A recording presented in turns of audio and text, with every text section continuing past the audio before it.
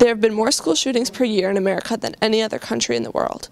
Until 2016, Florida law allowed judges to use the death penalty if there was a majority vote from jurors.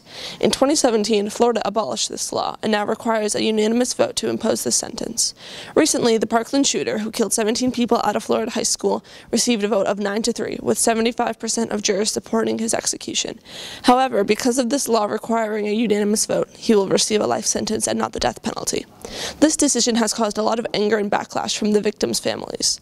We spoke to NHS students, staff, and a local lawyer to hear their opinions and learn more about the situation. There are a lot of states like Massachusetts that don't have the death penalty at all.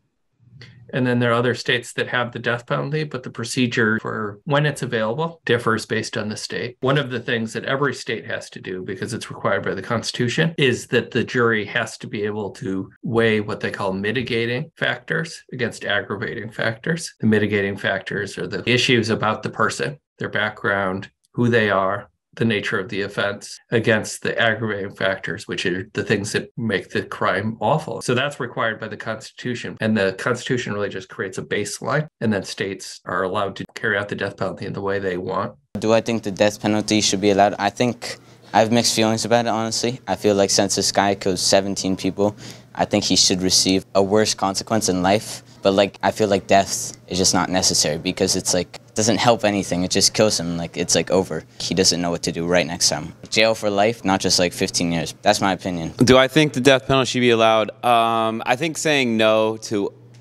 anything just outright, I think is a bad idea. So maybe there should be extreme situations that it should be allowed. So I wouldn't say it should be completely out loud. Does the Parkland shooter deserve the death penalty? If there's going to be someone that did, I would say um, it would be someone like that. Um, personally, I don't support the death penalty as an entire system because I think it is very unfair because you can see that um, most white men that are inmates don't get the death penalty as much as black and brown inmates do. So I think the system as a whole is very unfair, um, determining on race and gender and class. In a state like Florida, where the death penalty is allowed, the statistics were nine to three. Nine people voted to get the death penalty, and only three people voted for the life sentence. And I think you need the majority to vote for the death penalty in order for it to be allowed. I don't agree with the Parkland shooter only getting one life sentence. I think he should have gotten a harsher punishment. I believe that the death penalty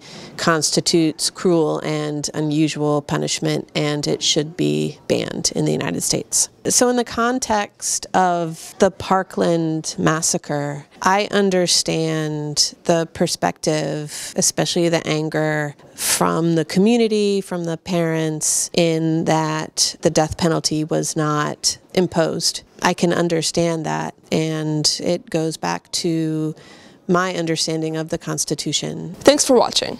To find out more about the death penalty, visit deathpenaltyinfo.org. See you next week.